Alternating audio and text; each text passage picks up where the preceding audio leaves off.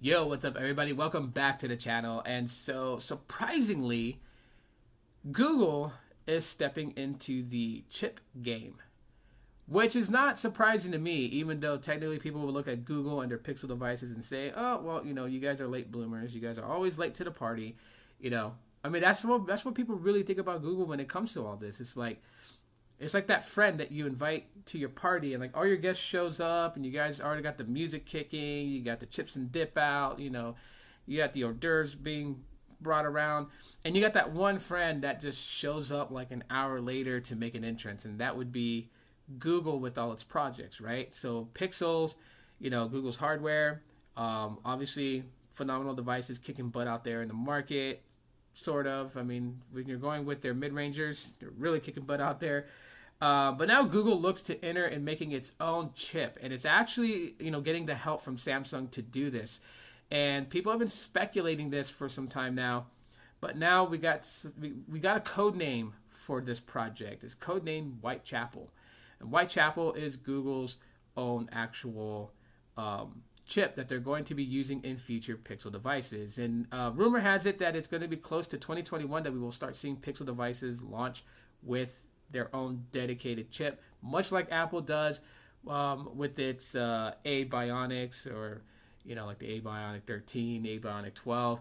You know, Apple designs its own hard um, processing chips, and Google's going to be doing the same. Now, as far as for a modem, we don't know what modem they're going to be using, but more than likely they're going to have to assist the help of Qualcomm for this one. Um, but yes, they've been developing a, a processing chip for their own Pixel devices. And while most people who would jump and say, well, when Google builds something, it's going to flop, I don't think in this case, in, in this uh, scenario, it, that's going to happen because Google already has basically its own processing chip for AI. And that would be its neural core processor that it has that's, you know, specifically like in the Pixel 3 and the Pixel 4. Um, and you know this chip basically helps out with like you know the the photography right? So when you take a photo with your pixel the ai chip inside it you know corrects the imperfections really fast. So processing an image on a pixel 3 is really quick. And if google can build something like that then i do have faith in them that their their processing chip that they would build would be just as good if not better. So some of the information that we got so far with the whitechapel which is the code name for their processing chip um, it is an 8 core ARM chip, uh, which is going to be designed with the help of Samsung. So, we mentioned Samsung right there helping them with it.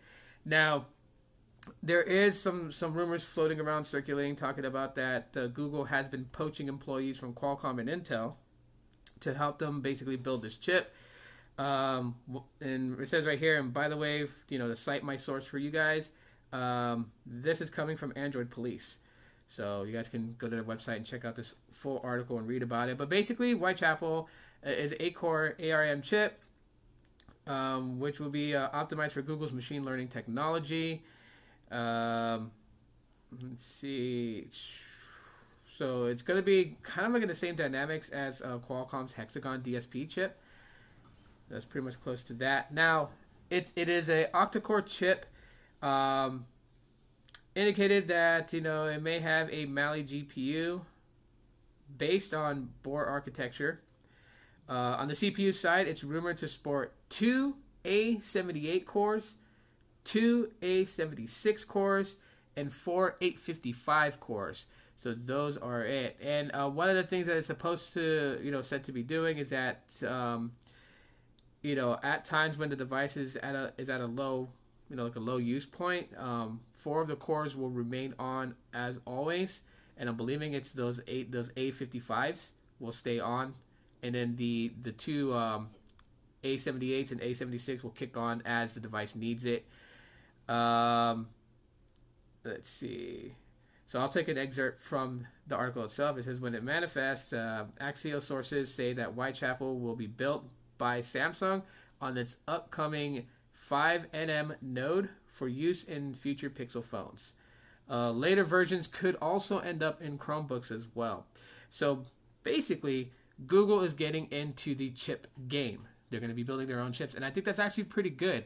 I think when a company, you know, such as like Google, goes out of its way to just, you know, instead of um, purchasing, you know, chips from Qualcomm and using it in their devices, but they build their own, it tends to work out pretty good. I mean, you look at Apple, right? One of the things that I say, one of the core pillars of iPhones is the fact that Apple builds its own processing chip for them. So they don't rely on a third party source to provide them processing chips for their phones. They build their own. Um, you look at what's another one that does it? I just had it in my head. Um, Samsung, right? So, and, and this is where Samsung has tested that theory. So in the US, Samsung devices use Qualcomm chips majority of the time, right?